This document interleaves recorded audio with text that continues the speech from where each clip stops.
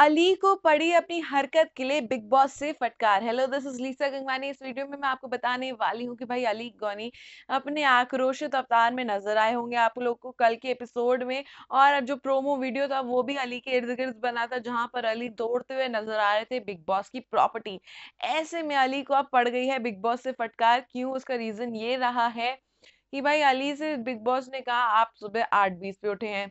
आठ बीस के बाद आठ चालीस पर आपने अपना माइक उतार दिया।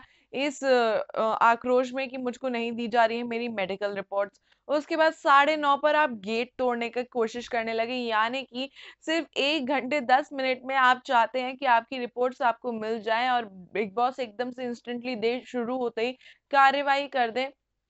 तो ये आपने बहुत ही गलत हरकत की है।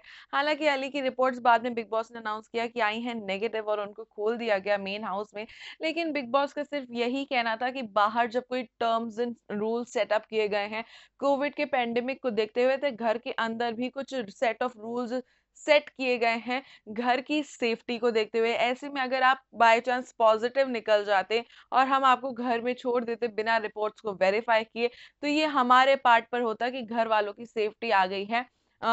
खतरे में और आपकी एक जो झनक थी या फिर आपकी एक जो गलती थी उसकी, पूरा भुगतान, उसका भुगतान पूरे घर वाले करेंगे। ऐसे में अली को जमकर पड़ी है बिग बॉस से फटकार उनके बिहेवियर को लेके कि उन्होंने बिल्कुल भी वेट करना सही नहीं समझा, बिल्कुल भी इस चीज़ का इंतज़ार नहीं किया कि बिग बॉस उनकी रिपोर्ट्स लाते ही होंगे, वेरीफाई करके और वो सीधे बिग बॉस पर भड़क पड़े और उनकी प्रॉपर्टी तोड़ने लगे। हम आपको बता दें, अली ने इतनी ज़ोर से गेट को ठोका था कि गेट ऑलमोस्ट खुल गया था। वो तो जासमिन ने जैसे तैसे उसको पकड़ के रखा था।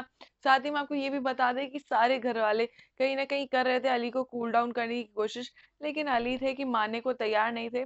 वो इस बात पर टिके हुए थे कि अगर मैं शो में आया हूँ तो परफॉर्म करने आया हूँ, इस क्वारंटीन रूम में बंद रहने के लिए नहीं। भाई, क्या अली जो आपको फटकार पड़ी है, हो सकता है उससे आपकी अकल में थोड़ी सी बात गई हो।